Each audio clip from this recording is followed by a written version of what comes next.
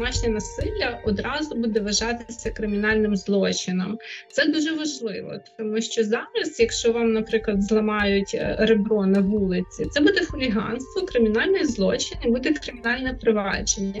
А якщо вдома зламають, то це буде адміністративне правопорушення. І порушник отримає не суд, там судимість і так далі, а отримає попередження, штраф, виховну роботу. Справді дуже несправедливо, тому що немає різниці, де людині зламали ребро на вулиці чи вдома.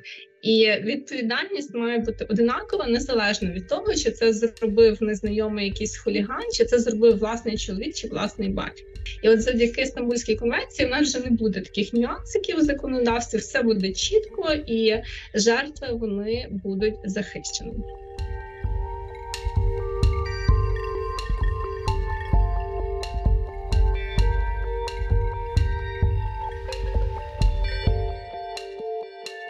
Тут довіра буде так само і європейських інституцій, і міжнародних організацій, що держава відповідальна, і вони будуть давати якби більше допомоги і експертної, і технічної, і фінансової на те, щоб у нас ці показники покращувались. Цей моніторинг буде запущений, і ми розуміємо, що особливо в громадах на регіональному рівні ми побачимо результат.